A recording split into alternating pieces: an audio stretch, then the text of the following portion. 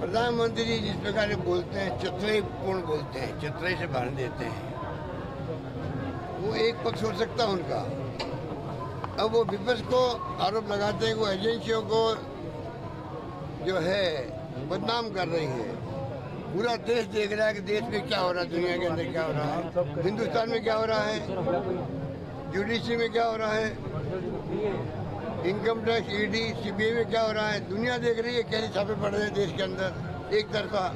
सबको मालूम है, वो उसको लेके भी विपक्ष को बदनाम कर रहे हैं। चतुराईपूर्ण रूप से भाषण देते हैं और लोग देखते भाई, पता नहीं प्रधानमंत्री बोल रहे हैं, वो सच्चाई होगी। आम जनता तक हमें पहुंचाना पड़ेगा सच्चाई को।